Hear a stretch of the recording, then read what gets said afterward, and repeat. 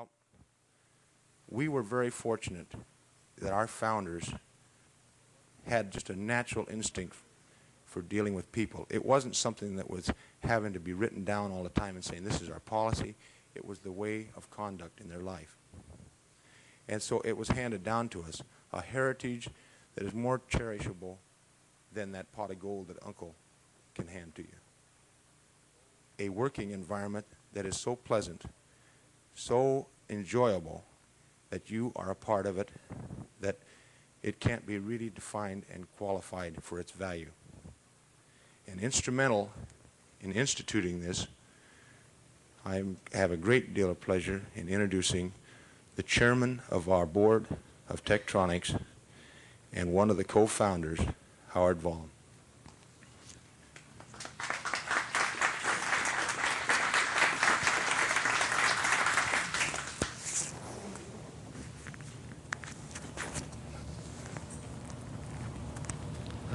I very That's right. good thumbs about this. Yeah, that's, Oh, I'm really good, great. I can, I can hold it. Okay, I'll have to hold it. Okay, well, thank you very much.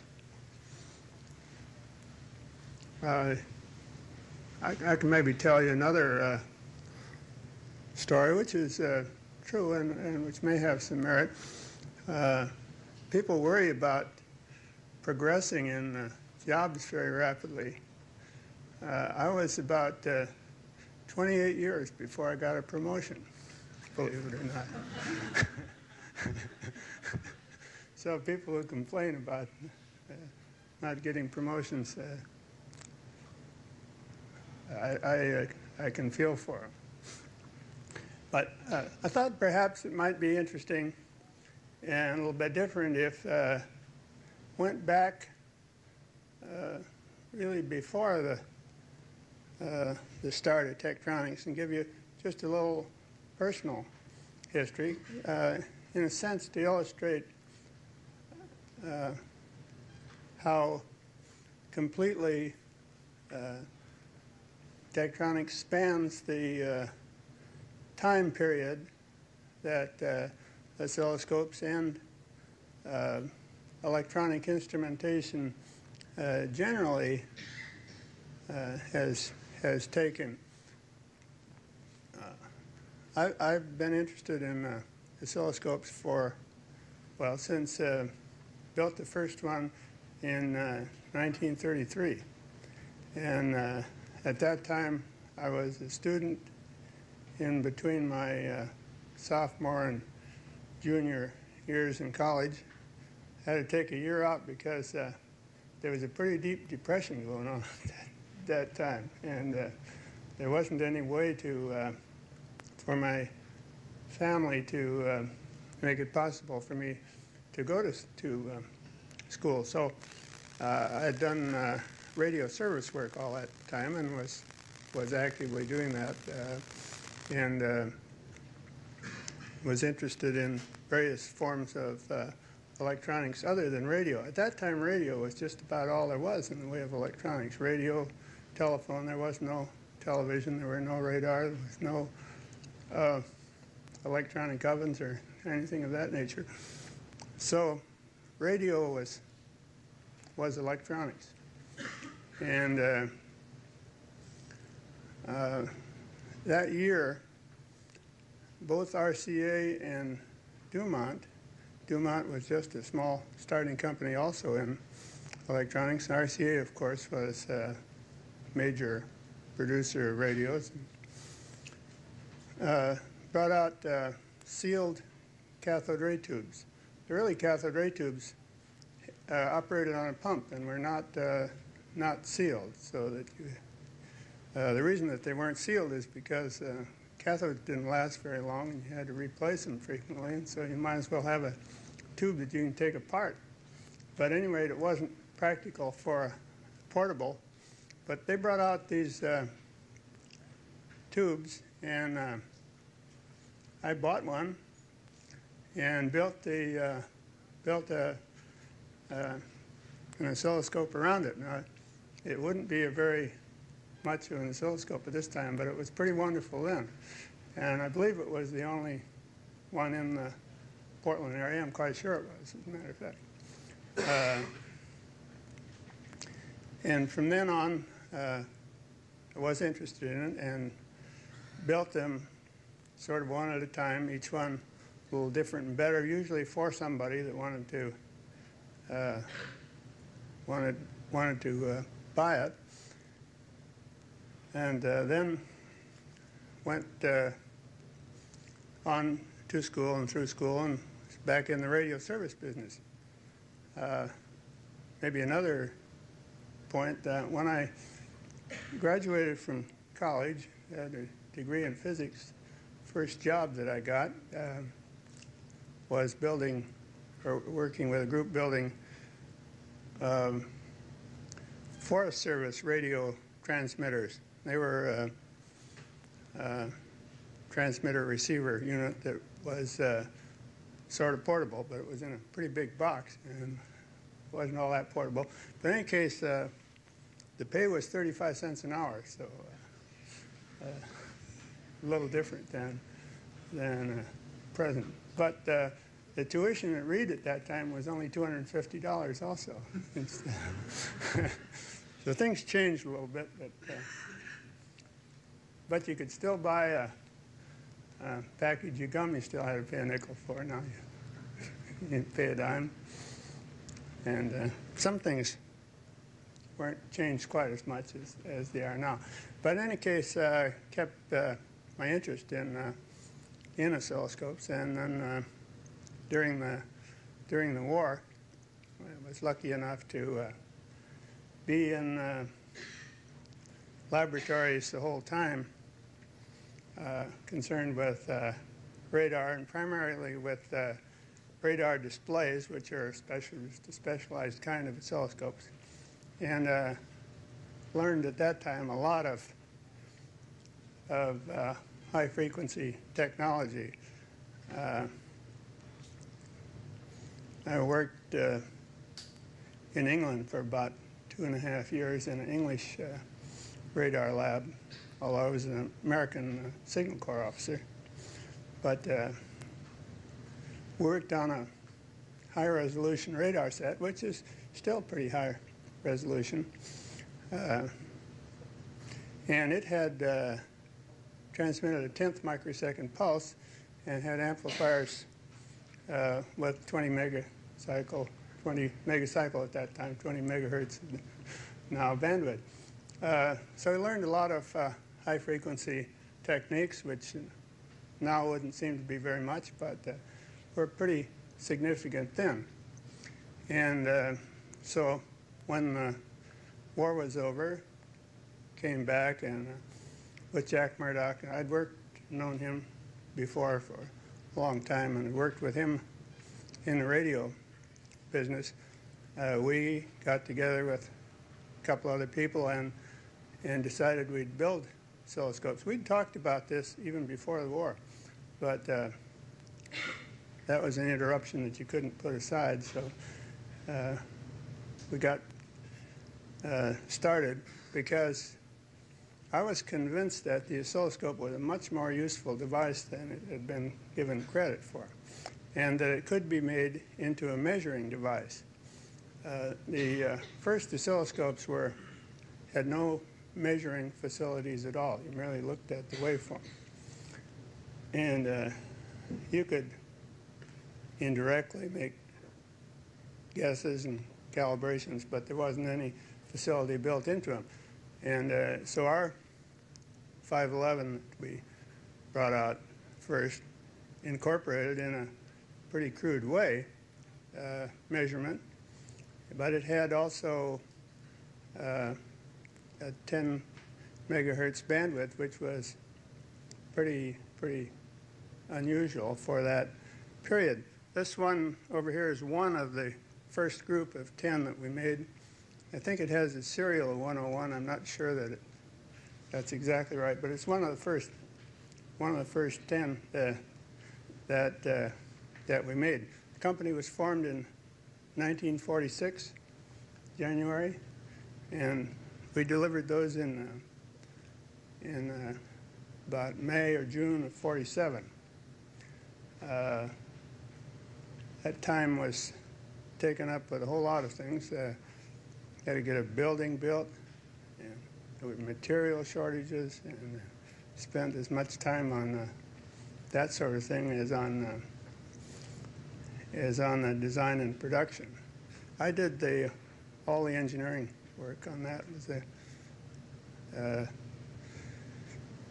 now I wouldn't have the slightest chance to do an engineering on a small part of one of these because uh, it's getting very uh, sophisticated and uh, uh it in, involves a, a, lot of specialists. But we, we progressed uh, from then on. We've had uh, very successful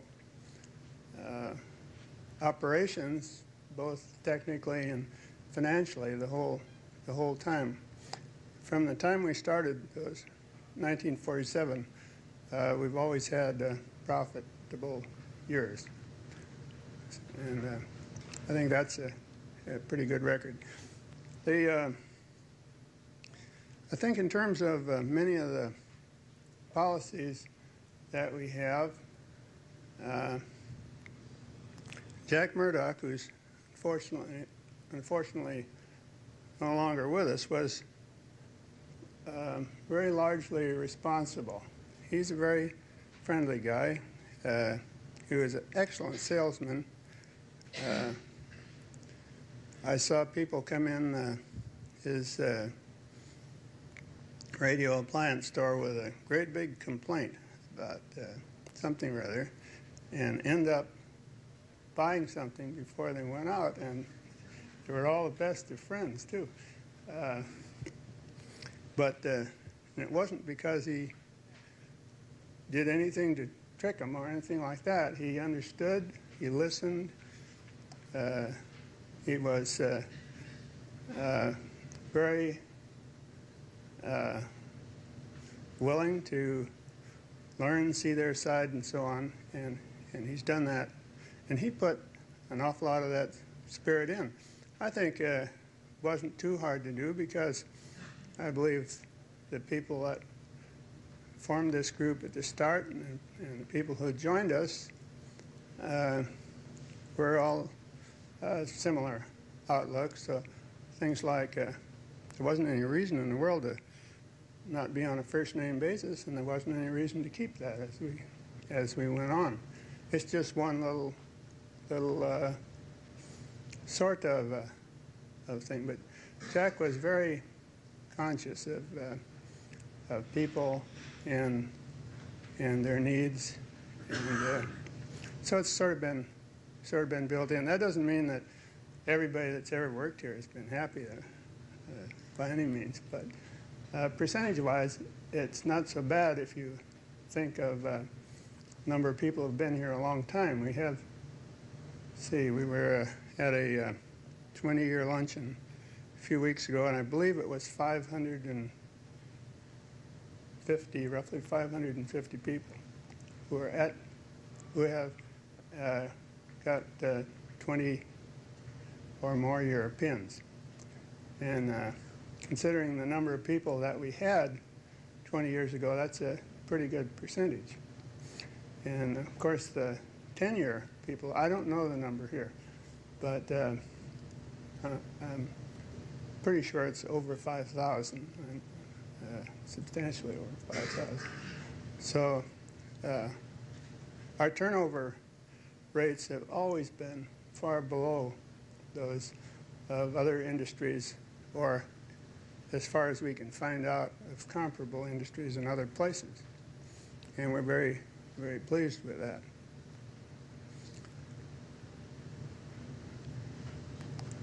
Well, now, of course, uh, there have been these many changes, and uh, uh, we have more or less successfully managed to go through these various periods. Uh, they are they are different. At the start, everybody has to uh, sort of be a jack of all trades. Uh, the man who uh, built the uh, building for us was a friend of my father's. He was a uh, contractor, and he sort of designed this simple building and built, us, built it for us over on 7th and Hawthorne and leased it to us. He said he wasn't at all sure he was ever going to get the rent out of it, but uh, he, took a chance and won. Made another comment uh, when he was uh, building it. He said that uh, he was going to make the toilets easy to clean because he knew who was going to clean them. so you see the kind of, of jobs that, uh, that, that we did. It's far cry from the specialization that you, that you have uh, now and uh, that you really, you really need now. Well, that's, that's kind of the way it all started. I won't take up too much time. Uh, would, uh, would any of you like to ask any questions about, not necessarily about that, but, well, I'll find somebody who can answer. Uh, the uh, tour guide mentioned that uh, the U.S. Bank was the one that loaned money to get this started. I was just wondering, did you go to a lot of different banks to uh, try when you first tried to get started? Well, I think I think the tour guide is a little bit uh, in error on that. Uh, um, the the we uh, we first our first uh, uh, banking was with the U.S. We never got any uh, loans of any significance from them to start it. It was started with just the money that the four or five of us had saved during the uh, during the wartime years, and uh, uh, we did need some uh, uh, short-term uh, loans at times, but they were.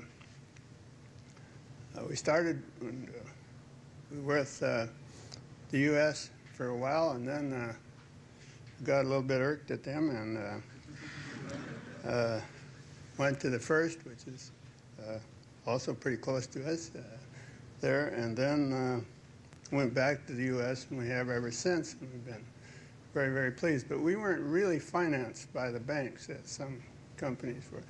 We had uh, enough to uh, get the things out and get started, and selling them wasn't any real problem at, at that time. Uh, making them was a problem, and so we didn't really have much in the way of financing. I don't, I, I don't think any bank can claim a lot of credit for making it go. Yeah. Do you remember roughly how much the first one cost? Yeah. the price on it was? Yeah. The, the very first ones were $595. And uh, then it was raised to $695. And it, was, and it stayed at that uh, for a long time. Our, at that time, prices were very stable. You didn't, you didn't have, there, there virtually was no inflation. And uh, uh, we could make uh, enough technical advances and enough uh, savings in one way or another to maintain the, the, uh, the price. The, the second model of second model was a, a uh, DC coupled uh, uh, couple of megahertz uh, job of a higher sensitivity than this into the millivolt sensitivity, and that was 995 when it was sold. But it was a more complex uh, instrument than than this was. I believe all those were sold for 695.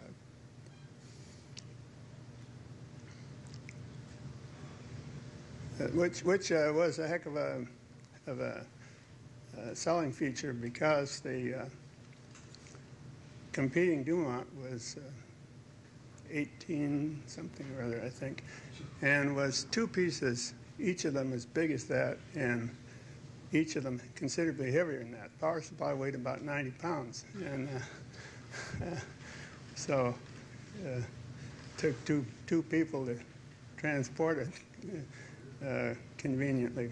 This was uh, very lightweight. We used aluminum, and uh, uh, the the uh, power requirements of it were were very moderate compared to the power requirements in some of these others. They used big tubes in the output, lots of power, and uh, they could achieve a a big picture, a big swing all over the face of the tube. Uh, we didn't think that was important. That uh, that picture is only four centimeters high on there, but uh, uh, that really does just as well as having it all over all over the tube, and it certainly saves you in, in terms of power, and in terms of cost, and in terms of uh, performance also, because it's hard to make a amplifier with a big swing that has wide bandwidth. I think we had one more question in the back. Okay, yeah. You think Tek is bigger than it is now when you started out? I, I'm sorry, I didn't. You think Tek is bigger than it is now when you started out? Oh, no, no, no. there weren't any electronic companies this big when we started. Uh, an electronic company, I guess the biggest electronic company at that time was the General Radio Company, which is in, uh, at that time was in Cambridge, Massachusetts. And I believe they had something like 150 people. And uh, they were, that was, uh, to our mind, a big company. And uh, matter of fact, I think we'd have been, uh, we'd considered ourselves a success if we had had 50 people uh, uh, and output that, that corresponded to that. See, the electronics wasn't so all pervasive as it is now, and there just wasn't a market. We, we feel pretty proud that uh, the availability of, of high performance oscilloscopes helped the electronics uh, business a lot. And uh, uh, our customers were the ones that made lots of advances in electronics that generated new markets. And uh, that was great for us because uh, wherever you have electronics, you have oscilloscopes. Now, of course, we have Tektronix, many more things than, than oscilloscopes, but uh, uh, they are sort of all outgrowths of, uh, of the uh, oscilloscope technology.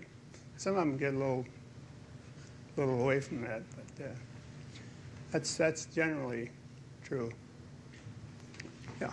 What kind of growth do you see for Tek in the next 20 or 25 years? Oh, boy.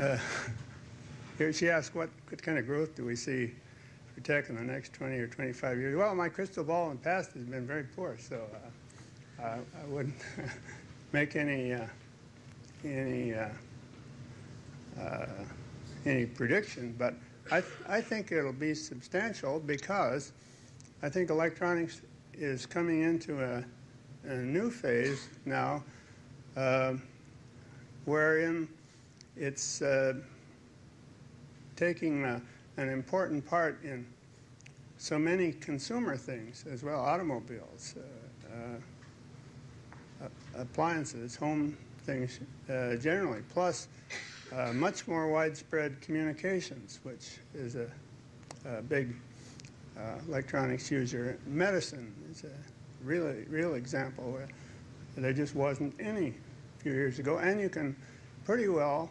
correlate real progress in medicine with progress in their use of, of electronics too, because it really was more of a take an aspirin and call me back Thursday kind of thing. Uh, uh, they really didn't have the analytical devices uh, and means that that they have now. So if we if we keep on our toes and keep uh, supplying these markets as they develop and and in the, uh, in another way develop the things which make possible new new markets. Uh, I don't really see any uh, particular limit to the uh, to the growth. Uh, of course, and we're, and we're lucky in, in being in uh, an industry that you can do that. All industries can't grow because uh, you only have a certain amount of resources, and and it has to be shared. But more and more of it is going into electronics. And wherever electronics is, you'll find some Tektronix things in a very important place. And that's true everywhere in the world. Uh, I guess not in the, in the Russian area, but uh, they'd like to buy some. State, State Department and Department of Defense turn you down every time. So.